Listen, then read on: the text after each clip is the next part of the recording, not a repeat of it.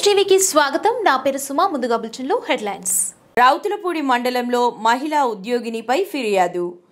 ప్రతిపాడు నియోజకవర్గం రౌతులపూడి మండలంలో ఏపీసీఎన్ఎఫ్ విభాగంలో పనిచేస్తున్న మాస్టర్ ట్రైనర్ వరలక్ష్మిపై గుమ్మరేగుల గ్రామ సర్పంచ్ రాపర్తి రామకృష్ణ సంబంధిత అధికారులకు ఫిర్యాదు చేశారు.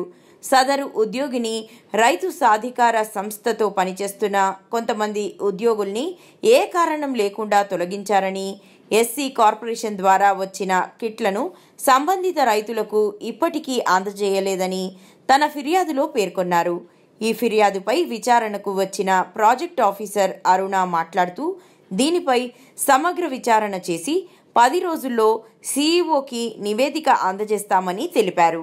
అందుబాటులో లేకుండా ప్రజలు ఇబ్బందులు పడుతూ అందరిని ఆ దాని కూడా ఉన్న వ్యక్తుల్ని కూడా ఇబ్బందులు పెడుతూ తన చెప్పి చేతుల్లో నడిపించుకుంటుంది.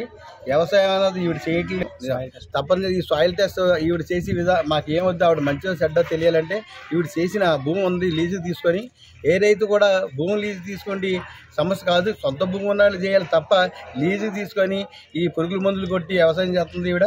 మాకు దయించి ఈవిడే ఇలా చేస్తే ఏ రైతు కూడా ప్రకృతి వ్యవసాయం చేయడానికి ఎటువంటి ఇబ్బంది లేదు. చాలా ఇబ్బంది పడతారు. ఈవిడ ఆ చేస్తుంది నువ్వు అలా చేస్తున్నా మేము ఎలా చేయమంటావు?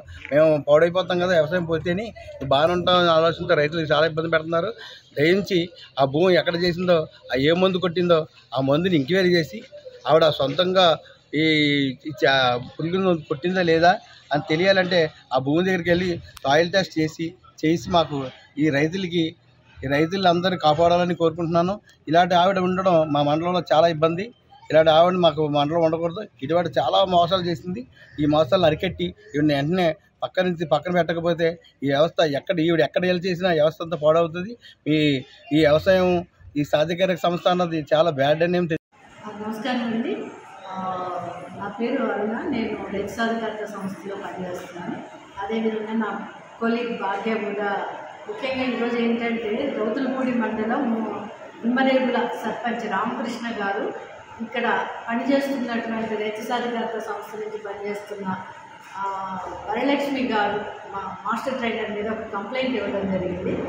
ఆ కంప్లైంట్ విచారణలో భాగంగా మేము ఇక్కడికి రావడం జరిగింది. ఆయన కంప్లైంట్లో ఒకటి ఇక్కడ కొంతమంది క్యాడర్ని వాళ్ళ ఏమీ తెలియకుండా ఉద్యోగాల నుంచి తొలగించారనేది ఒకటి.